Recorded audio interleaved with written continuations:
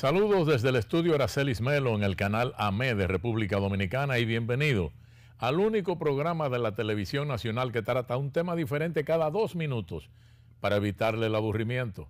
En el programa de hoy estaremos felicitando y hablando de el relajo con el juicio de los tucanos, de los haitianos en la escuela Patria Mella, de la amenaza del senador Félix Vázquez, del robo de vehículos para llevarlos a Haití, de la opinión de Temo sobre la deuda nacional, de los periquitos de la tanda extendida, del desorden inmobiliario en Santiago, de los estudiantes violadores de tumbas en Manoguayabo, de las mujeres con rolos de Gonzalo y de muchos temas más. Así que comencemos.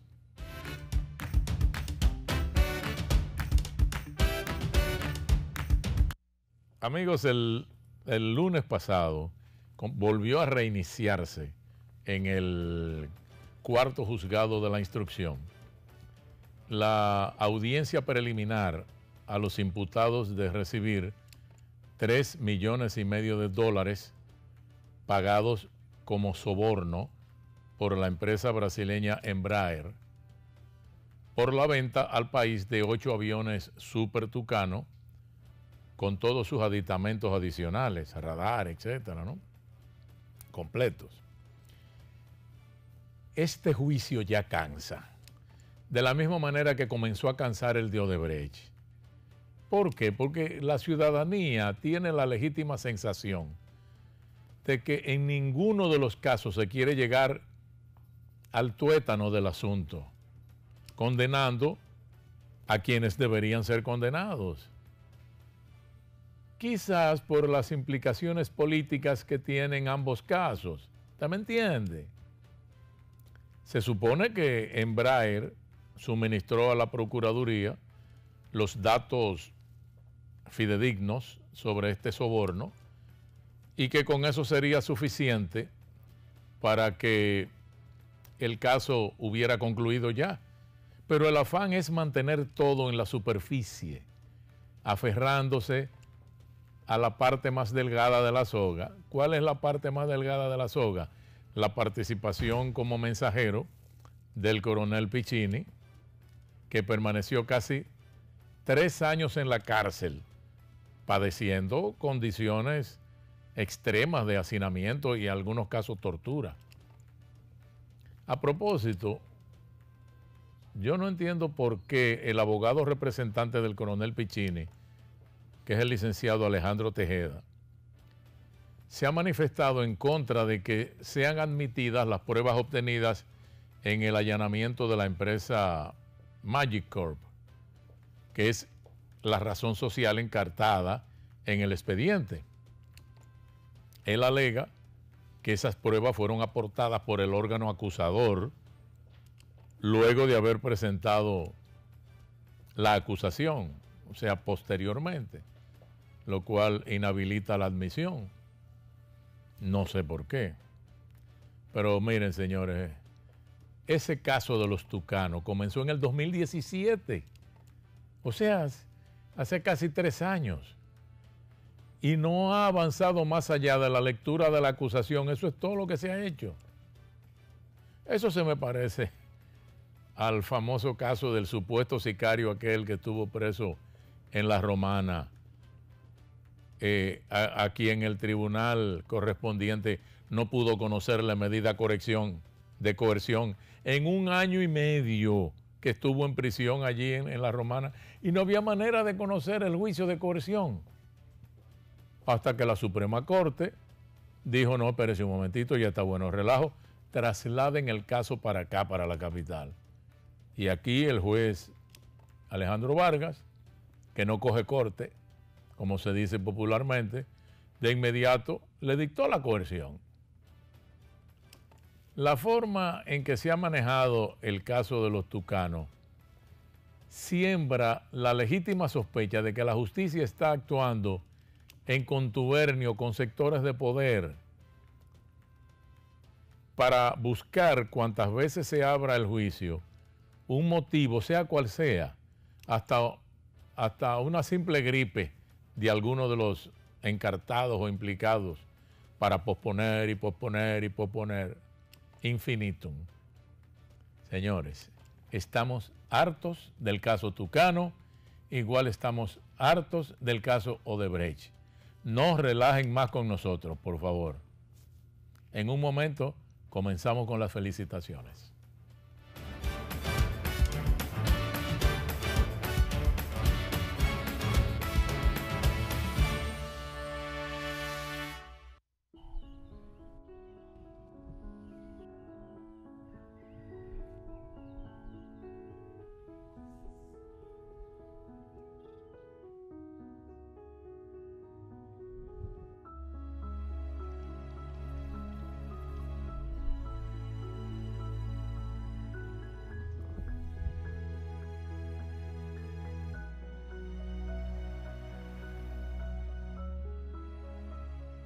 Valores con los que se forman desde pequeños son la verdadera riqueza que los acompaña durante su camino a las grandes ligas. Nosotros trabajamos junto a ellos para que se conviertan en triunfadores dentro y fuera del terreno.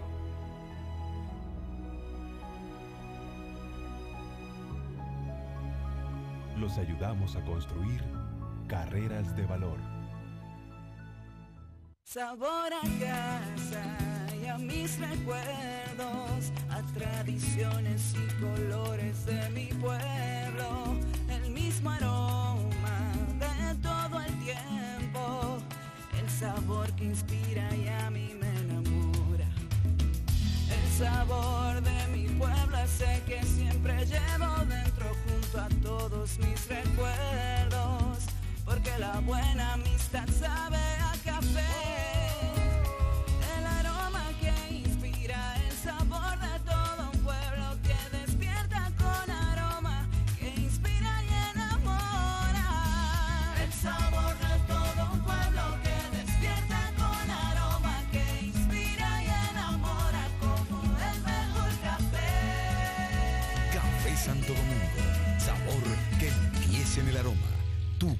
Fe de siempre.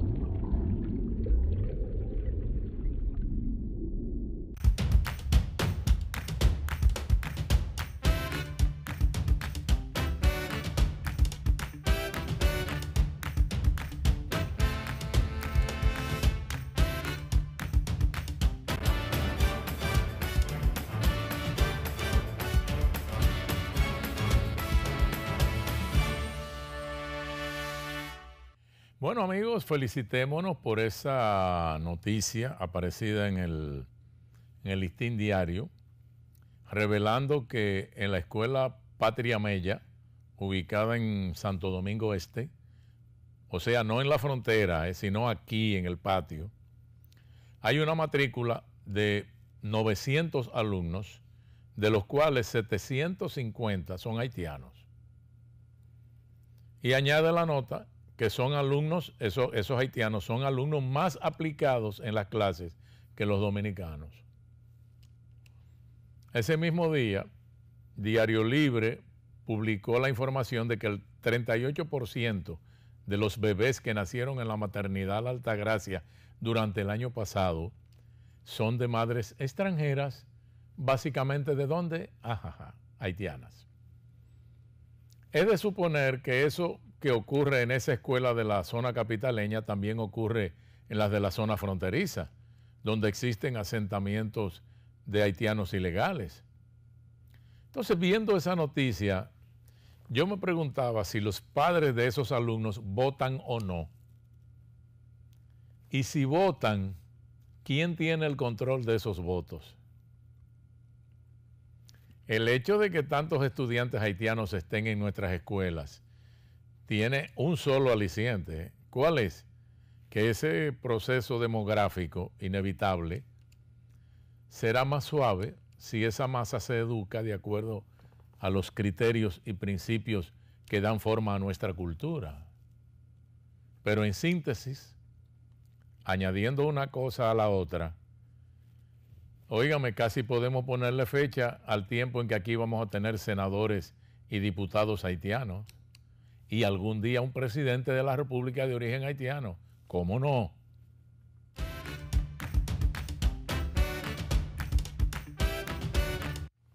Ocurrió que en Zambrana Arriba, provincia Sánchez Ramírez, eh, Octavio Agramonte, síndico distrital y expresidente del PLD allí, abandonó el partido oficial para irse con Leonel Fernández y la Fuerza del Pueblo.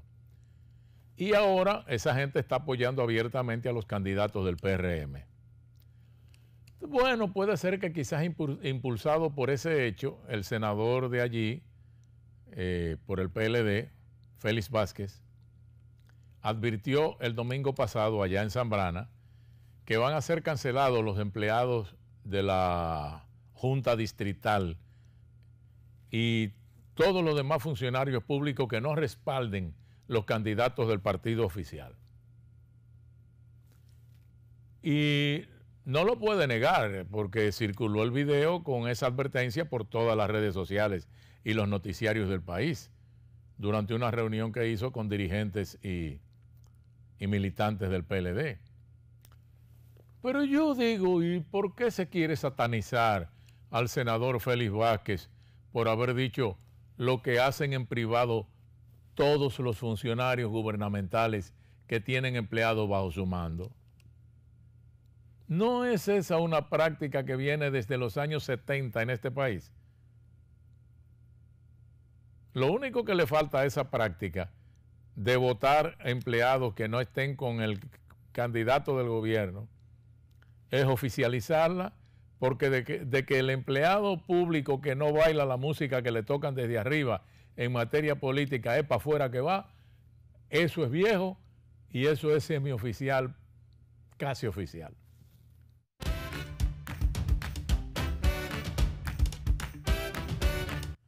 Hay que felicitar a los que han encontrado el, el hueco del negocio ilícito consistente en robar vehículos, jipetas aquí en el país y llevarlos para Haití. Recientemente fue una cónsul haitiana con asiento en Santiago que la atraparon con una, una Lexus que supuestamente estaba bajo la custodia de la Procuraduría por un asunto de narcotráfico. Y bueno, se deduce, aunque no se ha probado, que ese vehículo se pretendía vender allá en Haití, que se lo llevaban para eso. Entonces ahora, la semana pasada, el G2 del ejército agarró a alguien que trató de cruzar una Hyundai negra en el puesto de chequeo La Cadena de la vigésimo quinta compañía del municipio de Pedro Santana.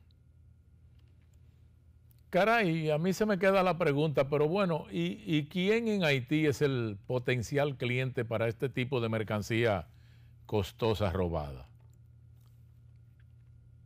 Porque se supone que Haití es un país eminentemente pobre. Entonces, para poder comprar un vehículo robado de esta categoría, como una Lexus, tiene que tratarse de gente de clase media alta a alta.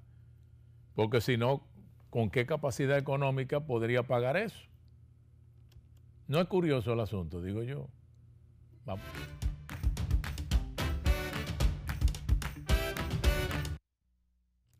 Nos llamó la atención positivamente ver a Don Temo en un programa de televisión el lunes pasado, definiendo como preocupante el nivel de endeudamiento que lleva la República Dominicana. Y afirmando que de intereses de deudas el gobierno está pagando un 2.5%, de 2.5% al 3% del Producto Interno Bruto, y añadiendo que real y efectivamente hemos llegado a un nivel tal de endeudamiento que hay que prestarle atención, dijo Don Temo. ¡Wow! Yo dije, wow, pero sería sincerización o se le chispoteó en medio de una campaña electoral decir algo así. Bueno, parece que el hombre se dio cuenta del efecto negativo que esto podría causar en los votos para el PLD, porque de una vez el hombre quiso recoger la leche derramada, diciendo que, que el tema de la deuda está presente en todas las economías del mundo pero que no hay por qué dramatizar el problema. Ajá. Ah, después que sí, ahora no. Que dijo que el 32% de la población ha pasado a pertenecer a la clase media, lo que a su juicio representa una movilidad social significativa. Digo yo, gracias a los préstamos, suponemos, ¿verdad? Y por ahí siguió tapando el hoyo, tratando de tapar el hoyo que había hecho con lo de la deuda. Una verdadera belleza la intervención de Don Temo en ese programa.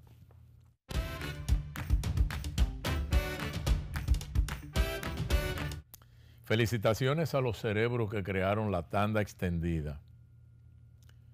Porque el señor Mariano Jabonero Blanco, secretario general de la Organización de Estados Iberoamericanos para la Educación, la Ciencia y la Cultura, OEI, dijo tajantemente que la tanda extendida no garantiza la calidad de la educación. Tal como es la opinión generalizada de los independientes como yo, la tanda extendida en nuestro caso no es más que una guardería infantil para que le cuiden los muchachos a los padres y les den alimentación. Porque, digo, es lo que dice el señor Jabonero, hay que mejorar los procesos de la escogencia de los entes. Hay que mejorar la calidad de los maestros y su capacidad. Pero el sindicato de maestros en lo que se empeña es en tratar de ganar más y en trabajar menos. Y así, señores, no vamos a sacar buena nota nunca en la prueba de PISA. Pero mientras tanto, que siga la fiesta del 4% tirando los cuartos, ¿qué se va a hacer?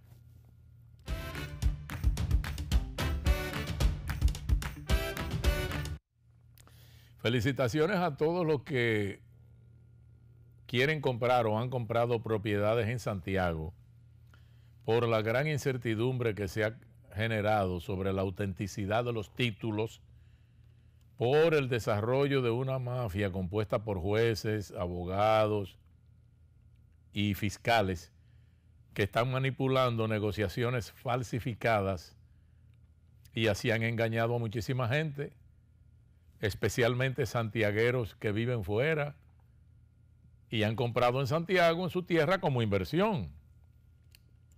Algunos figuras conocidas como ex peloteros y hasta un jefe de la policía lo engañaron. Caramba, pero señor, eso es algo demasiado grave para que no se le ponga atención, para que no se corte de raíz. Mucho más cuando hay tanto inversionista extranjero chivo por esto de la inseguridad jurídica que exhibimos y que muchos embajadores lo han señalado como problema no resuelto que espanta inversión. Eso es a cada rato. Usted sabe lo que significa que otro utilice el título que se supone que es suyo para entonces adquirir una hipoteca y usted pierda lo que le costó quizás todos sus ahorros. ¿Quién le va a meter el diente a eso? Dígame usted.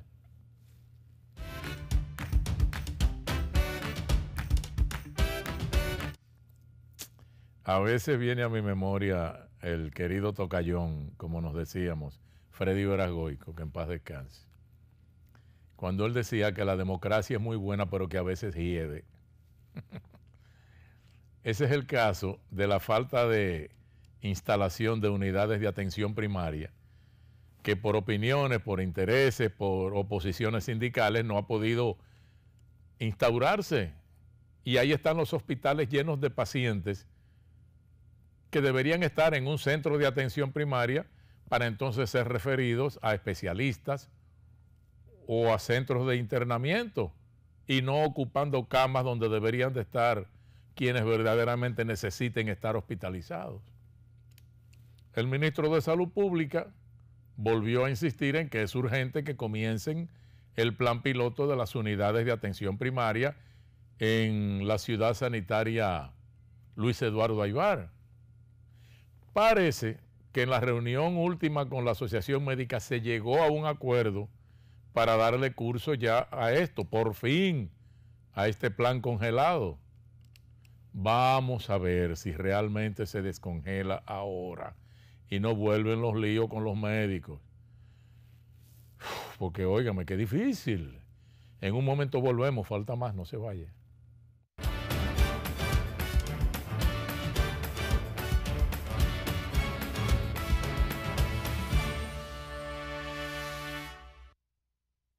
Bloqueo de las intersecciones es la principal causa de represamiento vehicular y disminución en la velocidad de flujo, ocasionando caos en la movilidad.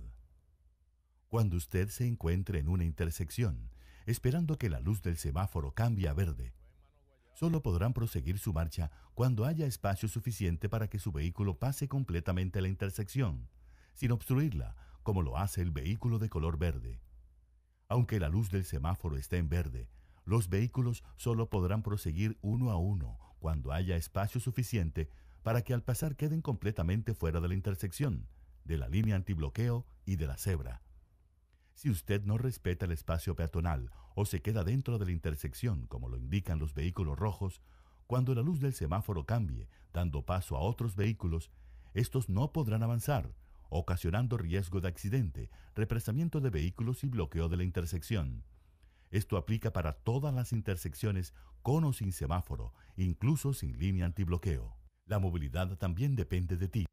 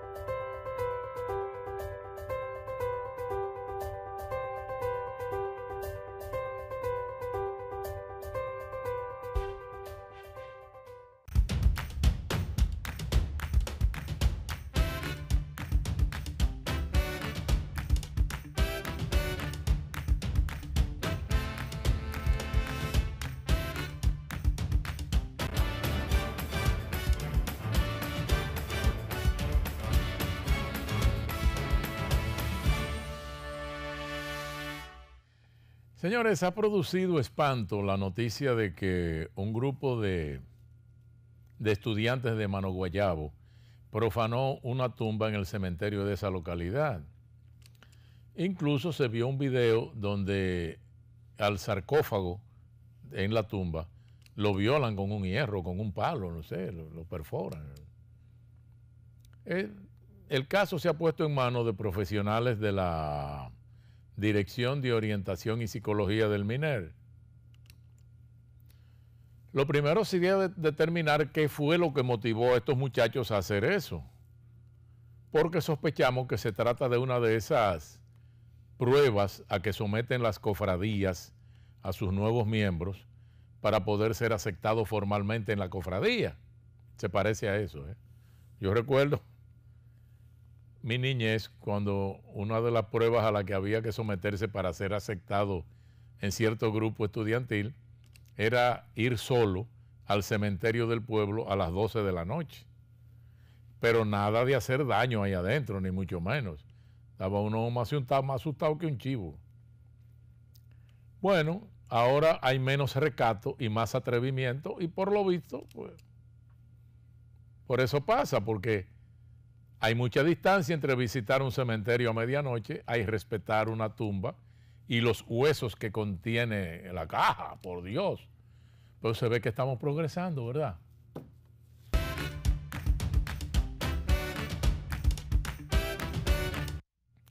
Esta semana se puso a circular en las redes una información que de entrada pareció falsa, lució falsa, sobre la supuesta oferta de Luis Abinader a la presidencia de México para la compra de un avión presidencial valorado en ciento no sé cuántos mil millones de dólares. Si bien se trató de una falsa información, ¿eh? no es menos cierto que hace rato que este país debió haber adquirido un avión para uso presidencial, no de ese tamaño, más modesto. Pero ese avión se pudo haber pagado, señores, tres veces con el costo de los viajes de Leonel y Danilo solamente, con los viajes que ellos han dado. Se hubieran comprado tres aviones, con la ventaja de que con un avión propio no se tiene que recurrir a alquilar uno con una tripulación que no es de aquí, sobre la cual se desconoce sus condiciones físicas al momento de necesitarlo, ni si van a estar disponibles. Si existen los datos de los gastos que en renta privada de avión para la presidencia durante los periodos del PLD se han hecho, sería bueno sacar cuenta para que usted vea que con ese dinero tuviéramos no uno, sino tres jets ejecutivos presidenciales. Cosa que desde luego no se puede hacer ahora debido a la situación económica. Ahora no se puede meter el país en comprar un avión con esta situación que estamos pasando, con este dólar disparado. Válgame Dios.